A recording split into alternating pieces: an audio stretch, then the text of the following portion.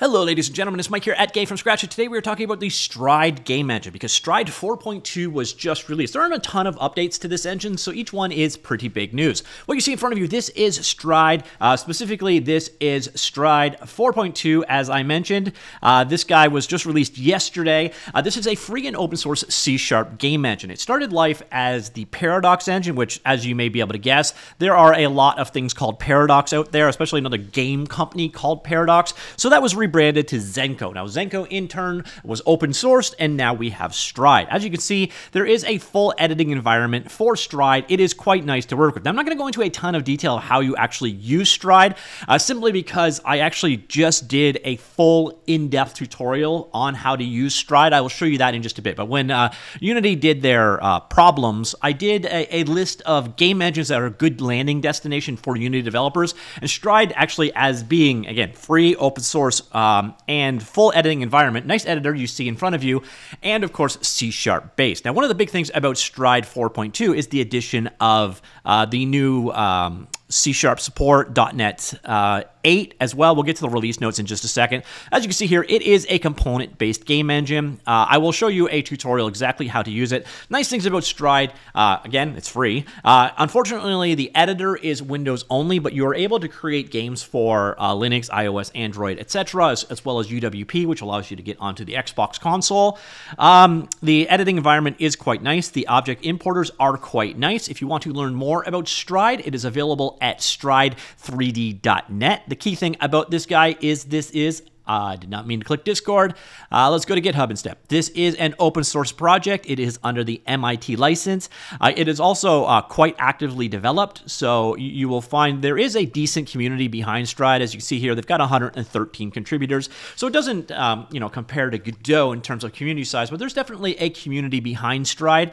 Uh, so if you want to go ahead and check that one out, as I mentioned, it is MIT license. In terms of features and functionality, well, let's actually let them go and brag about what they've got, and then we'll get into the details details of Stride 4.2. So the big thing, obviously, is it's got that full editing environment. There's also a couple of uh, cool projects to get you started. So there's Starbreach and then the drone example I showed you very, very briefly earlier on. Those are both available. Uh, you have a compositor, basically, uh, think of uh, Unity scriptable rendering pipelines, except for you do this visually using um, this building block system there.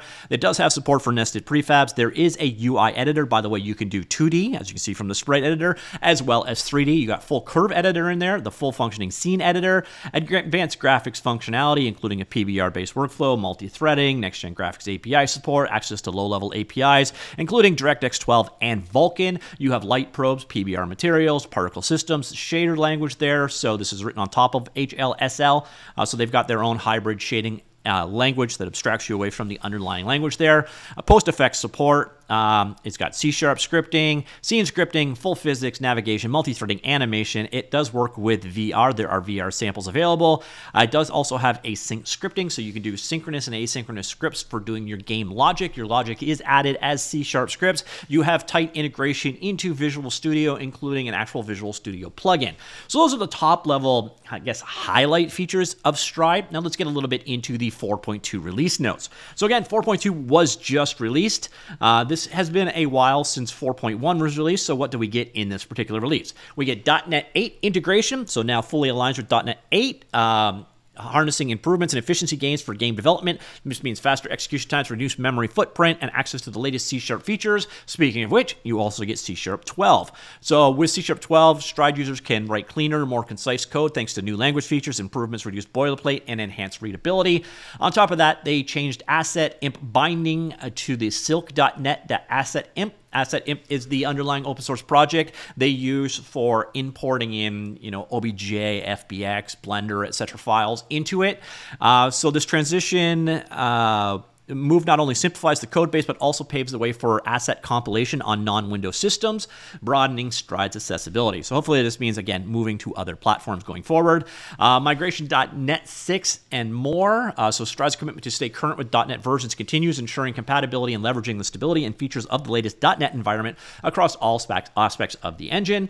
Uh, enable multiple profiler consumers and add a timeline tracer profile. Enhancement includes a profiler with Chrome tracing output format Specifically, improves the debugging and performance tuning uh, process by allowing for a more granular analysis of the game's performance. Uh, added support for F Sharp and VB project types. So if you do not want to work with C Sharp, you could also work with F Sharp, which is Microsoft's functional programming language, as well as Visual Basic, which I'm actually kind of surprised to hear is still around.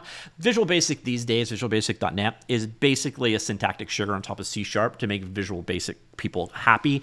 Uh, but yep, that support for those two languages is in there now as well. The Stride Diagnostics Analyzer and OpenVR handle custom resolution specified by the user through the VR settings. And we got some improvements in the editor as well, including dynamic snapping for selected objects, animation stack selection for FBX imports, and automatic asset copying to resource directories. And we have a much more detail of all the various different changes, bug fixes, and so on in this particular release. But in a nutshell, that is Stride 4.2. What has changed there? Again, I did not go into much detail of what Stride is all about because back in the end of September when you know Unity did its things, I did a rundown of Godot, Stride, and various different other game engines for Unity developers.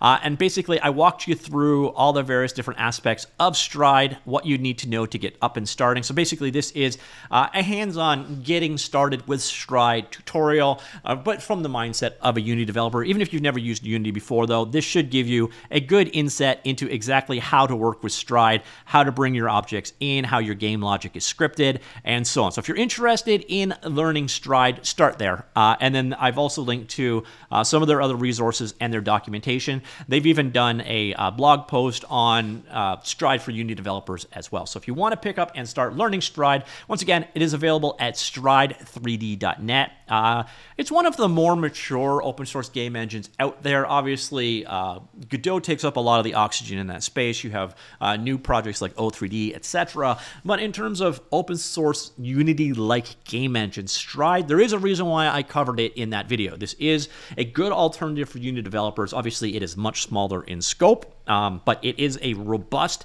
and mature game engine. It's been around for a very long time in a variety of forms. And as you can see from the 4.2 update, it is continuing to get new features. And obviously, C Sharp is very core to this experience. So if you're a C Sharp developer, Stride should definitely be one you consider checking out, especially again, because it is free and open source. So let me know what you think of Stride in general, of the 4.2 release specifically, and I will talk to you all later. Goodbye.